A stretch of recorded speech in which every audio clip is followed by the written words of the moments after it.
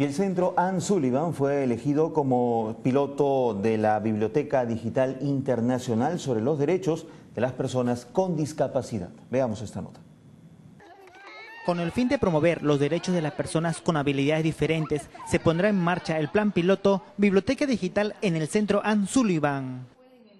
Este proyecto es un sistema digital conocido como Internet que brindará informaciones a todas las organizaciones internacionales sobre los últimos alcances del desarrollo de las personas con habilidades diferentes, además de sus principales derechos.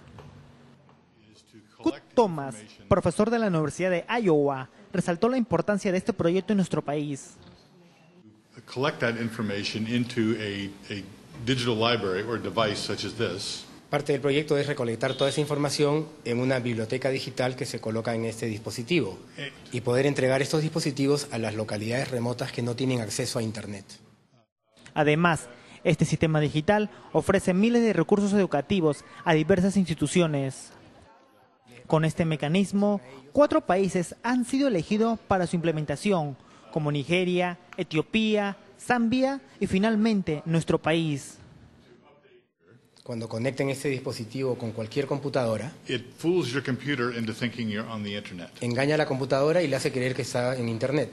So you can find hundreds of websites, Así que se pueden encontrar cientos de páginas web, thousands of books, miles de libros and uh, hundreds of multimedia and other educational resources. y cientos de recursos de multimedia y otros tipos de recursos educativos. Cabe señalar que el Centro Ann Sullivan es una organización de educación con su principal función de servir a la comunidad de personas con habilidades diferentes como autismo, síndrome de Down, parálisis cerebral o retraso en el desarrollo. Esta presentación se realizó en el Centro Ann Sullivan en el distrito de San Miguel.